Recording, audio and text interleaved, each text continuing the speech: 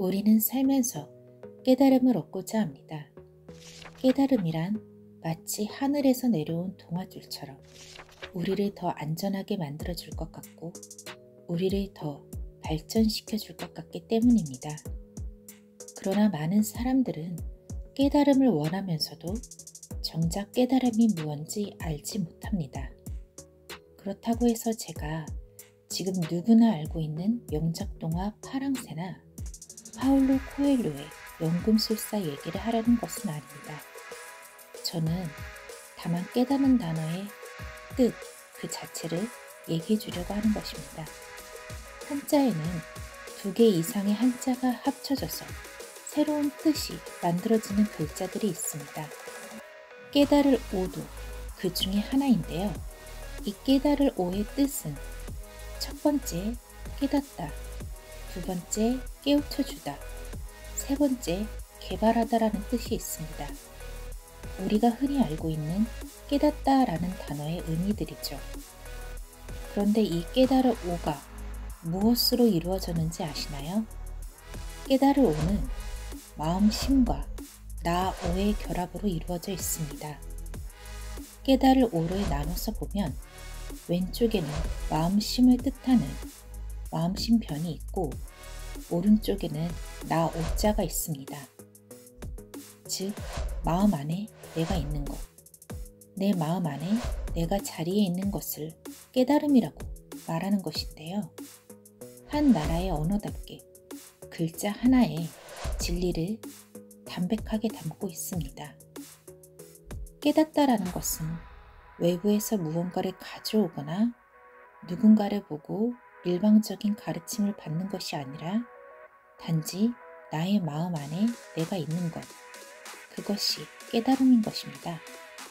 깨달음이라 거창한 것이 아니라 단지 내 마음 옆에 내가 있어주는 것이죠. 남들이 나를 오해하고 멋대로 상상하는 것은 그 사람들 마음에 내가 없기 때문이지요. 그렇기 때문에 나의 삶을, 나의 삶의 기준을 남에 맞추어 살게 되면 평생토록 깨달을 수가 없게 됩니다. 그러나 내 마음에 내가 있어서 남이 날 오해하거나 잘못된 왜곡을 하더라도 걱정할 필요가 없는 게 깨달음을 얻은 당신에게 당신 마음 옆에 당신이 있어주기 때문입니다. 때때로 누군가 나를 이렇게 생각할까 저렇게 생각할까 싶고 그럴 땐 사실 내가 진짜 남이 왜곡해서 보는 그런 사람이 아닐까 괴로워지기도 합니다. 그리고 그런 고민 때문에 인간은 자존감이 낮아지게 되고요. 하지만 당신이 만일 대통령이 아닌데도 당신 스스로가 대통령이라 믿으면 과대망상이 되는 것처럼 당신이 사형수가 아닌데 스스로 사형수라 생각한다면 그것 역시 현실과 어긋난 망상에 불과합니다. 마찬가지로 남들이 당신에 대해 거짓되게 바라보더라도 당신을 왜곡해서 당신에게 오명을 씌우더라도 그것은 상대의 망상인 거지 당신이 괴로워할 일이 아닙니다. 진정으로 깨달은 사람, 마음 안에 자기 자신이 있는 사람은 남들이 자신을 왜곡해서 보는 것에 대해 두려워하지 않아도 됩니다. 상대의 원인을 꼭 당신에게서만 찾지 않아도 됩니다. 당신은 그 사람의 마음에 있는 존재가 아니라 당신 마음 옆에 있는 존재이므로 힘들어하지 않아도 됩니다.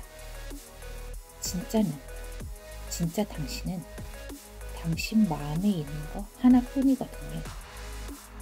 사람은 매 순간 깨달을 수 있습니다. 그 깨달음이란 엄청난 진리를 찾았을 때 오는 것이 아니라 사람들의 무분별한 휩쓸림, 누군가의 만족을 위해 나의 즐거움을 잃어가는 것이 아니라 나의 마음 옆에 내가 항상 있어줘서 남이 보는 나에 주목하는 게 아니라 내가 나의 마음을 바라보면서 나는 그런 사람이 아니라는 판단과 믿음으로 자신을 지키는 것. 그것이 바로 진정한 깨달음입니다.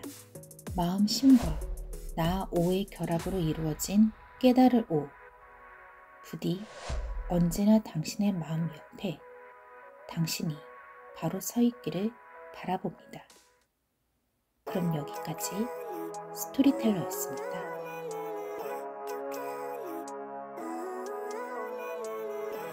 Life every day